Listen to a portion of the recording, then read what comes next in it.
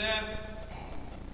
الحمد لله نحمده نستعين به ونسترشده ونعوذ بالله من شرور أنفسنا ومن سيئات أعمالنا. من يهده الله فلا مضل له ومن يضلل فلن تجد له وليا مرشدا. وأشهد أن لا إله إلا الله وحده لا شريك له إقرارا بربوبيته وإرغاما لمن جاهد به وكفر. واشهد أن سيدنا محمدا صلى الله عليه وسلم رسول الله سيد الخلق وبشر. ما اتصل عين بنظر أو سمع عود بالخبر اللهم صل اللهم صل وسلم وبارك على سيدنا محمد وعلى أهل البيت الطيبين الطاهرين وعلى صحبته غر الميامين. امناء دعوته وقاد أولويته وارض عنا وعنهم يا رب العالمين. اللهم أخرجنا من ظلمات الجهل وهم إلى أنوار معرفة والعلم ومن حول شهوات إلى جنات قربات أما بعد فيا عباد الله اتقوا الله تعالى واتقوا إن الله مع الذين اتقوا. قال الله تبارك وتعالى في كتاب الكريم أعوذ بالله من الشيطان الرجيم. بسم الله الرحمن الرحيم. وقال وقالوا لو كنا نسمع أو نعقل ما كنا في أصحاب السعير. وأيضا قال أعوذ بالله من الشيطان الرجيم. بسم الله الرحمن الرحيم. ولا تعتدوا إن الله لا يحب المعتدين. صدق الله العظيم. Zahvalnost mu pripada jedin jedinstven Allah Želešanu. Он не бараме помош и затоа нови свети ден се наоѓаме. Салаватите му припаѓаа на еден единствен последен пегамбер Мухамед саллаллаху алейхи на неговата честна фамилија, над сахабите, таби табиин, во унил емри минкум и на вашите поставени до јомен кијамет иншалла. Учитувани жемати, ве поздравувам, еселаму алейкум, нека ви биде мир и спас, мене и на вас, на ова свето место, во овој свети ден. Денеска ќе зборуваме за една тема кој сите ќе сакаме да одбегнеме, за тие особини да не ги поседуваме. По природата на човекот, човекот сака да биде сакан. И најголемото нешто што може да го достигне на оваа дуња е да Аллах Желешану го сака. За ова сме зборувале и немат да зборуваме денес. Но, денешна, денешната тема е обратна. Не да Аллах Желешану не сака да зборуваме за оние луѓе кои Аллах Желешану не ги сака или кои Аллах Желешану оние луѓе не ги неќи. Но, во природата на човекот, во секој еден од нас, од првиот човек Адем алейхиссалам до јомул кијамет, природно е човекот да биде сакан и човекот самиот по себе сака некој работ. Човекот сака да биде сакан, да се чувствува сакан во обшеството и рековме најголемото нешто што може да го достигне во неговиот живот да го сака Аллах Желешану ако го сака Аллах Желешану ќе го сакаат и луѓето ќе го сакаат мелеките и ќе го сакаат сите на земја затоа што после неговата смрт Аллах Желешану не луѓе кои ги сака ќе го спомне нивното име во кое име го носат тие. Ако се вика Мухаммед, Мухаммед, и ќе кажат, кога се преселе, Мухаммед ќе кажат, се преселе Мухаммед, филан и филан, и ќе речат мелеките, овој човек го сакаше да Аллах Желешану, и ние го сакаме, и ќе му прават теквир се додека не биде кај Аллах да Желешану. Сите ова го посакуваме, и обратно, денес ќе избегнеме некои луѓе, за да не не фатат тие особини кои Аллах Желешану, да ако го неќа Аллах Желешану некој човек, и луѓето ќе го неќат, и мелеките ќе го неќат, и верувајте ми, не ќе биде сакан ни во обществото. Тоа е природа на човек. Има некои луѓе кои што имаат своја свој е, свој имидж кој луѓето го сакаат. Има нешто од тоа, тоа е природа, кој ние самите ги сакаме. Дали нивниот излет, нивните дела, дека тој е пример за, за, за, за човек и така. Но, Реко не знаке човекот сака да биде сакан и сака да биде не само сакан, човекот посакува да биде секој здрав и жив. Човекот не да никогаш не сака да се куде. Никогаш не сака да се куде, затоа што човекот по природа е незаблагодарен. Затоа што не е незаблагодарен, ја го цитирам тој курански ајет, човекот е известен. Затоа сме ние тука, Затоа даваме салавати на пегамберот, на вашите предпоставени имами, на сахабите, таби табин ги наредуваме, затоа што тие нас не известувале и не пренесле верата. Ние, овде вака, денеска, Аллаху белекта да за мешхет, о Господе, биди ми сведок, дека ќе ги известам, да ги одбегнат овие особини, кои ќе ги наброеме денеска, за да Аллах Желешану да бидат цакани, а не обратно да не бидат сакани кај Што е джематли, човекот е незнајлица. Затоа што ние, иако многу најпаметните, се најнезнајлици. Незнајлици затоа што ние не знаеме што не чека и што ќе не снајде. Човекот, затоа што не е незнајлица, го наоѓаат некои незгоди, затоа што не е незнајлица, тој останува незаблагодарен, затоа што не знае каде се преселува и што го чека. Ја го цитирав Куранскиот ајет каото биллахи мине шејтани раджим, бисмиллахи рахмани рахим, وقالوا لو كنا نسمع أو نعقل ما كنا في أصحاب السعير кога ќе се преселеме, кога ќе не прашуваат првите прашања, ќе сакаме да избегнеме и ќе кажеме следно. И ќе речеме, ќе речеме ние, да укаду. Послушни, да слушавме ова денеска што ќе го кажеме и да го практикуваме во нашиот живот, ќе речеме вака. Да бевне послушни и да бевне разумни и да размислуваме, ќе немаше да бидеме меѓу жителите на Саир. Спорот Саир е на Одомот. Зато, затоа, почитувани джематли, слушајте добро што ви се кажува, пошто ние ви известуваме, а ваше е да го практикувате, затоа што не ќе можете да избегнете тој ден и не ќе можете да кажете дека не бевте известени. Што джематли? Кои се тие луѓе кои Аллах Жешану ги неќе? Тие се многу, Денешната тема е кратка, но, иншалла, на петри теми ќе ги завршам. Минхум аллазина ла юхиббухум Аллах азza wa Ti je se srednik. Prvo mohte din. Ljudje koji preteruvac. Koji se ti koji preteruvac? Ljudje to preteruvamo se i sve što.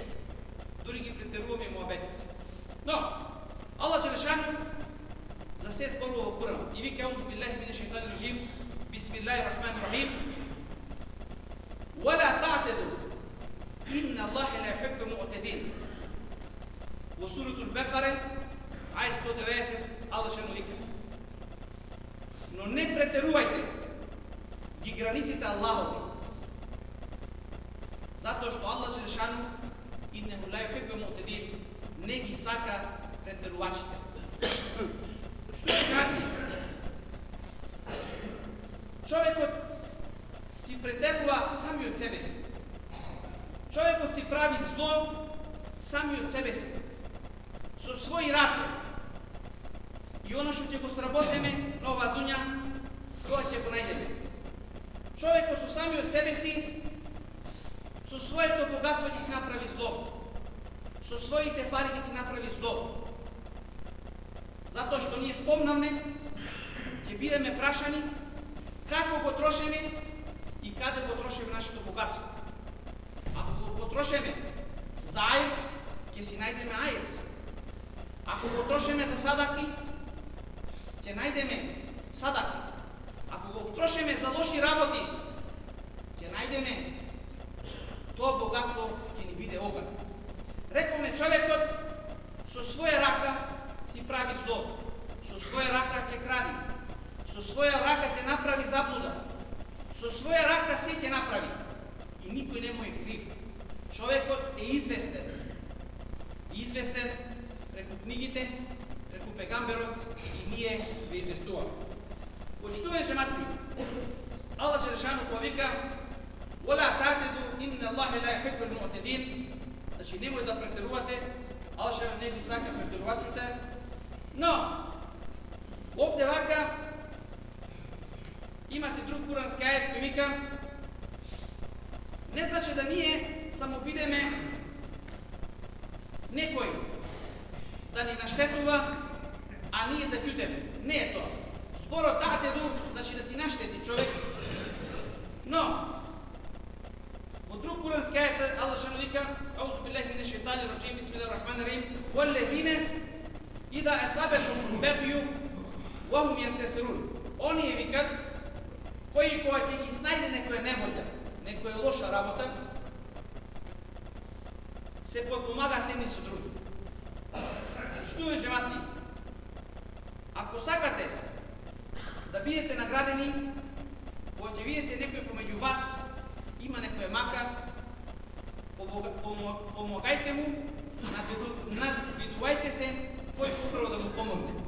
Затоа што на брат муслиман кој ќе му го одлесне маката која има, Аллах Желешану ќе го одлесне маката на Ахмет. Чуја джематли, кој ќе му прости еден на друг, Аллах Желешану ќе го награди. Аллах Желешану ќе го награде, но има тука случаеви и ќе кажеме един пример.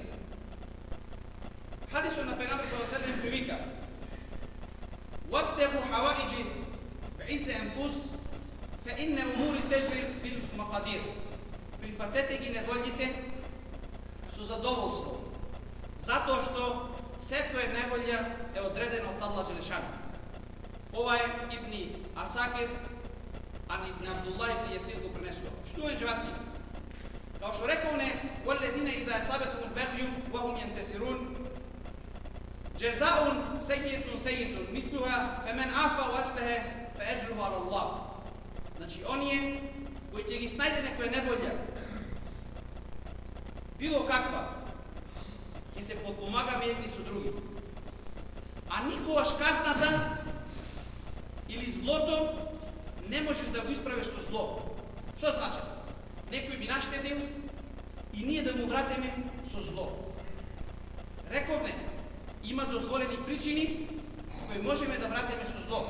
Ајн бил ајн, око за око. Уше, удун бил удун, уше за уше, ако текој наш. Но, има причини, треба да ги одбираме како можеме и да заслужеме ние да бидеме милостливи спрема луѓето, да Аллах Желешану биде милостив со нас. Например, човекот вози кола, човекот вози кола помалку од дозволеното. Тоа се случува и ни се случало. И сме слушале. Му преоѓа некој дете го газа. Што ќе прави кутриот? Значи злото му дошло до кај него, иако не е поминал брзината, но тој во очите на законот го убил детето, во очите на луѓето го утепал детето. Но Во овој случај ние знаеме дека брзината негова не беше повише од дозволеното. Тој не сака затоа што детето му пропоминало.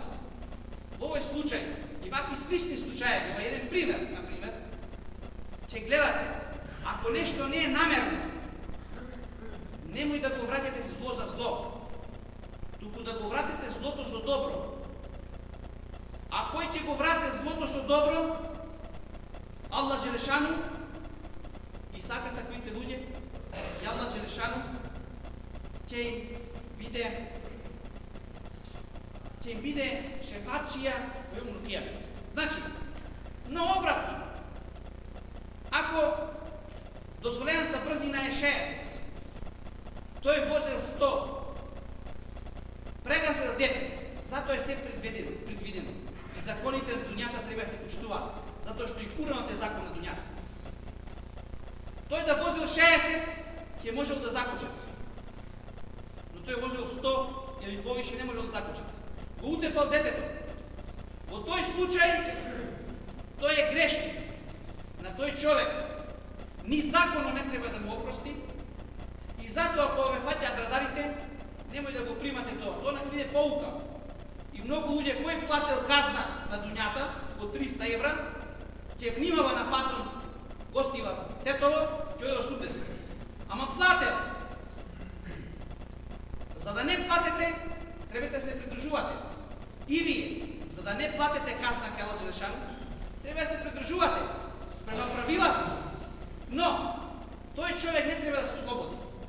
Иако има познати луѓе, иако има полицајци, кои ги познава, тој човек кој го казни него ќе биде награда, значи полицајци ќе биде награда. И обратно, судите или ако судите кои ќе го казнат ќе биде награден, затоа што тој е поминал брзината. Ние поштувани джематни.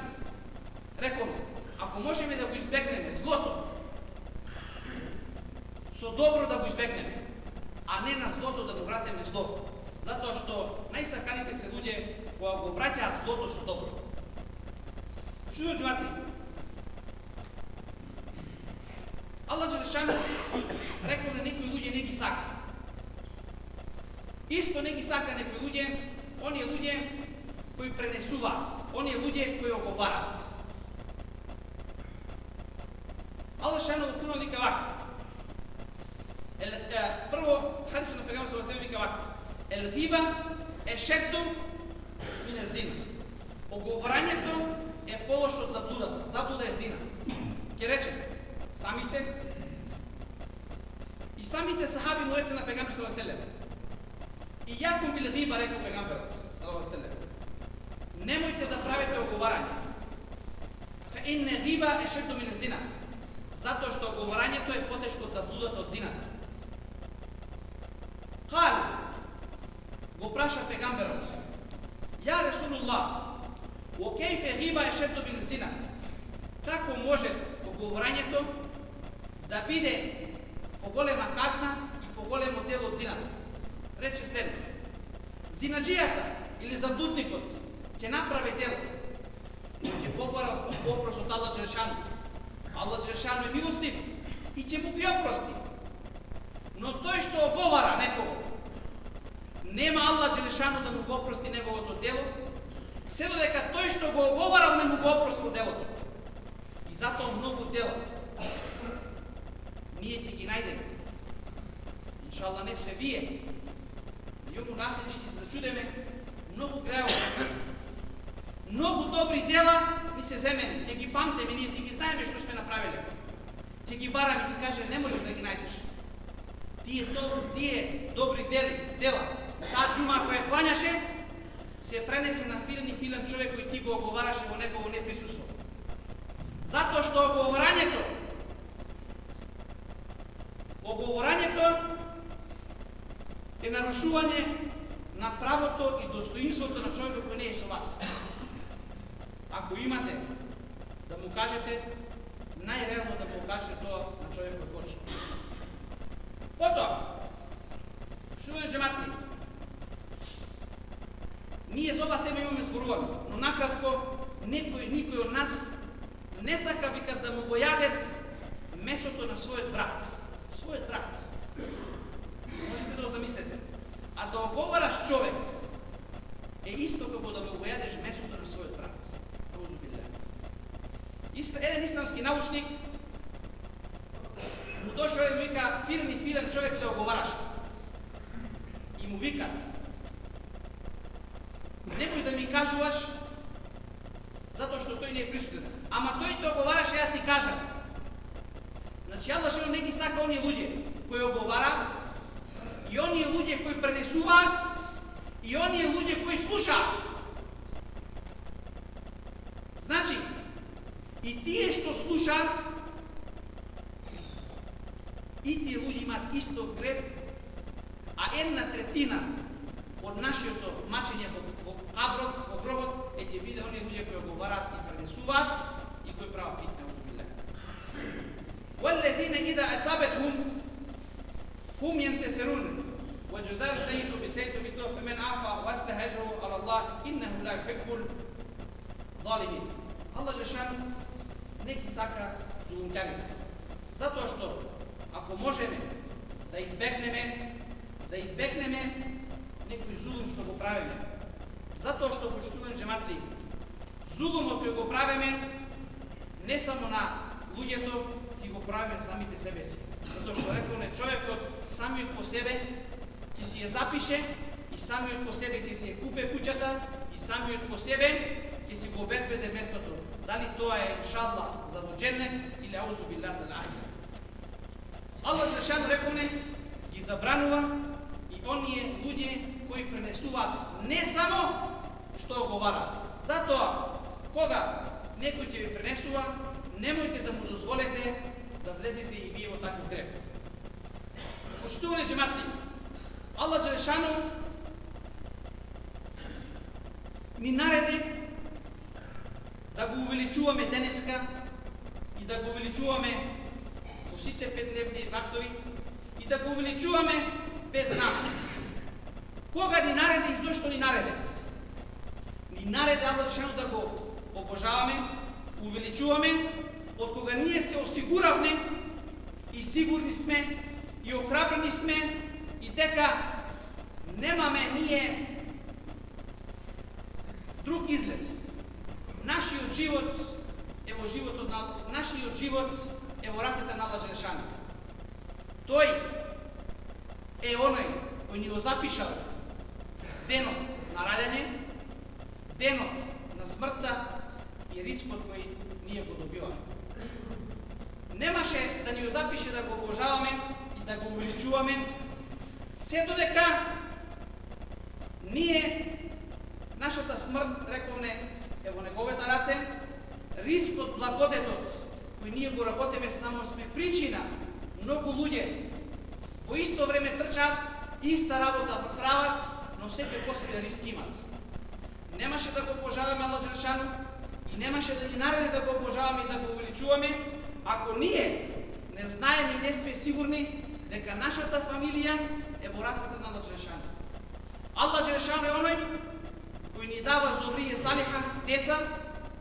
Аллах е, е оној кој ќе ни ги земе и ние треба да се молеме да Аллах Желешану ни ги чува нашите деца, ни го чува нашиот благодет, ни даде здравје и се значи е во негови раце. Во наши раце немаме ништо. И затоа ние сме денеска овде вака, затоа што ние имаме потреба да го молеме, а тој нема потреба нашите намази.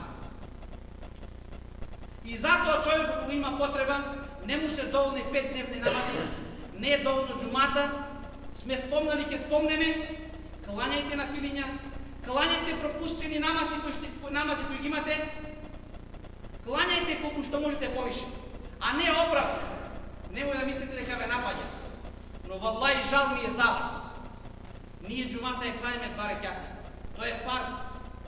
Но многу луѓе потврдените сунети на пегамберот не ги клањат и заминуваат.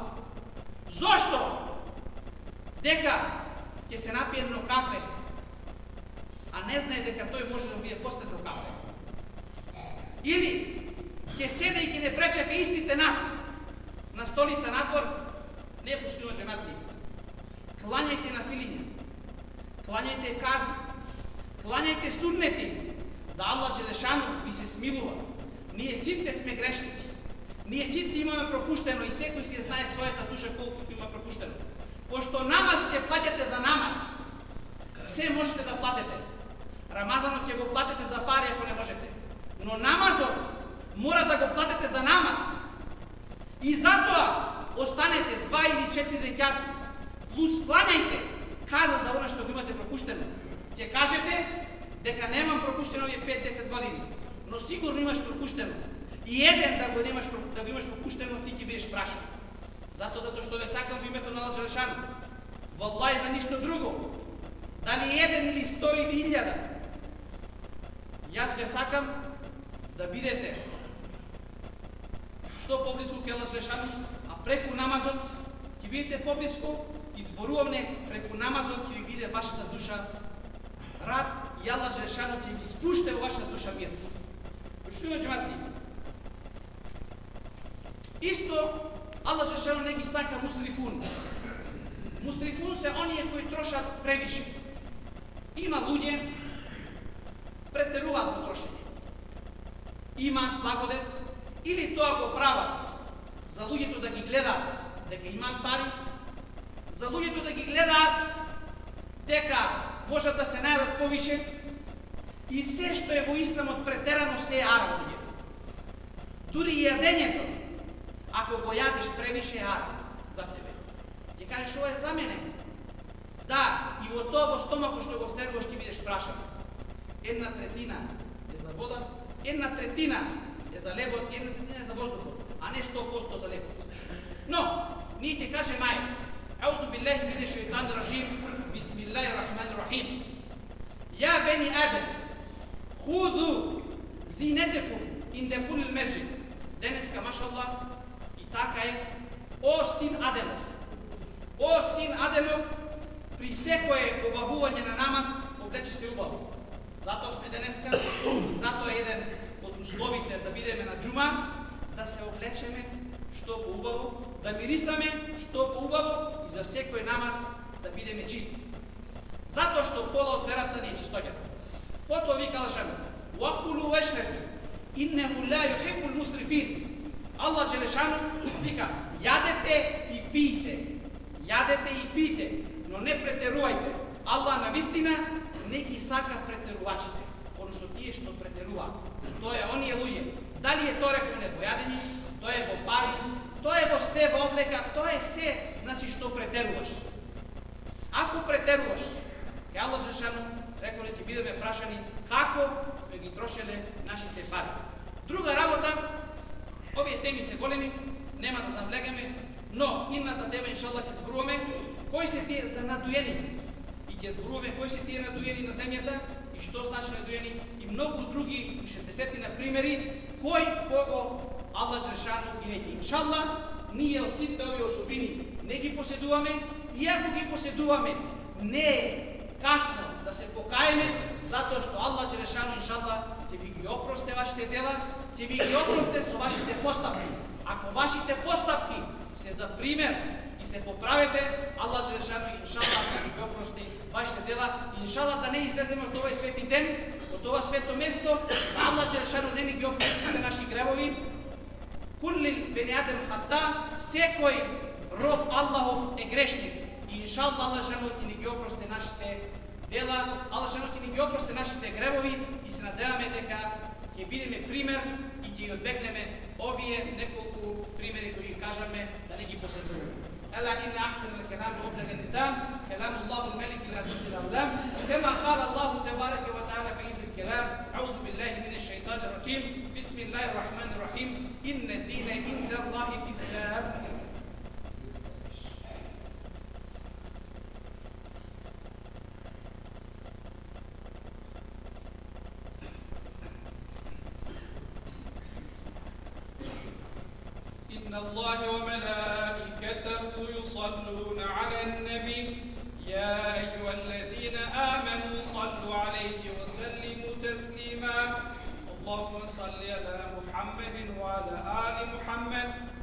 صليت على إبراهيم وعلى آل إبراهيم إنك حميد مجيد.